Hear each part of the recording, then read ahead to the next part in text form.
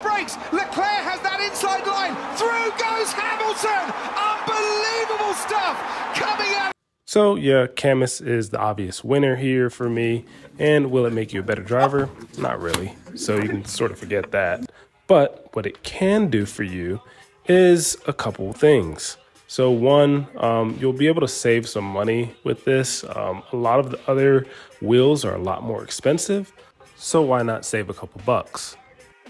Also, uh, the feeling, if you're coming from like a G29 or any of those other Logitech series, you're going to get a way better feeling uh, using this direct drive wheel. And now I know I said it won't make you a better driver, but I actually see that it made me win a little bit more. Um, and you'll see that later on in the video. Now, there's a ton of gear out here that can improve your racing experience, but you're going to be ending up throwing a lot of money away, which can suck. But what's great about the Cammus is you can take your old G29 wheel setup with the pedals and the shifter, and you can plug it into your computer and still use your Cammus wheel. Or you can buy the racing adapter from Logitech, which is also pretty inexpensive, and then plug in your pedal and your shifter here and then you also have this dial here, which um, I don't necessarily know what it does, but I have it set in the middle and it works well. I got this feeling inside my bones.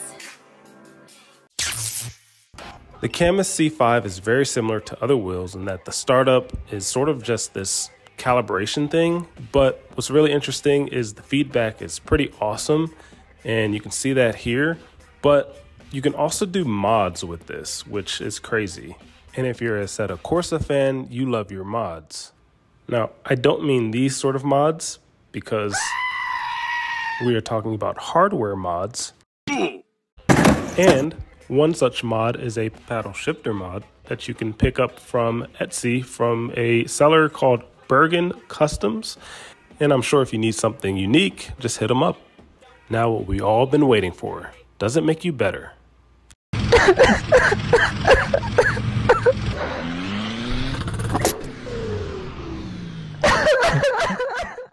As we say in the States, no, absolutely not. Or across the pond, yeah, it's, it's still a no. But from the beginning of my iRacing career, I think I started with a Ferrari Thrustmaster and then I did horribly. And then I moved up to the G29, which I did okay, as you can see there. But then over here, when I got the Cammus C5, I just exploded. And my iRating went above 2000 and stayed above 2000. Speaking of iRacing, let's take a look at this Clio race here where I narrowly avoid one of the cars on the inside at the bottom screen there. And then also if you look at the top, while I am trying to make sure that I maintain space, um, I can feel a lot more in the road than I would on a G29. You can see the little mini corrections in the wheel as I try to keep the car straight. So this wheel did wonders in regards to iRacing and there was very minimal setup unlike Assetto Corsa and rFactor. you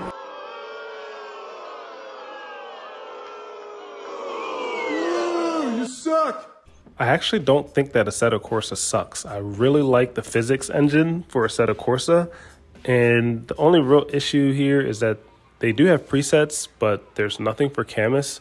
So you're going to have to try to figure this out yourself or see if the community has something for the C5. Um, I didn't look in depth to see if there was anything. So I just set up the buttons how I wanted it, set up the throttle and pedal. And then once I was done with that, I tried it out.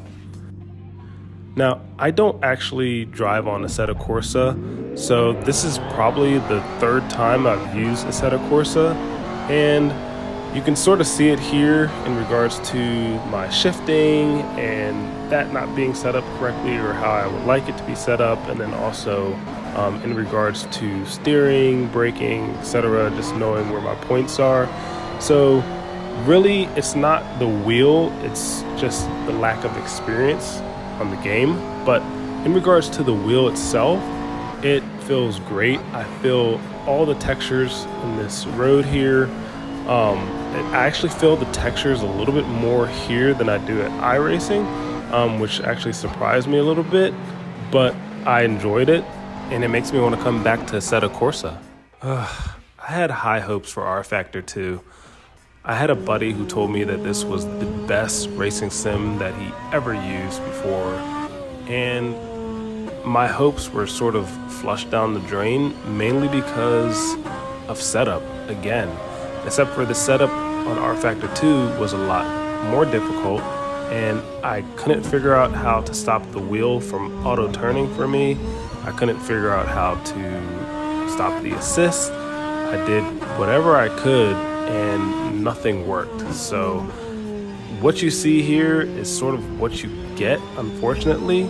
Um, the good thing is, is that with this wheel, you can definitely feel everything very similar to Assetto Corsa. But if you don't know how to set up, you'll just. And yeah, I really wanted to show you all like what it looked like in real life, but I'm an old dude.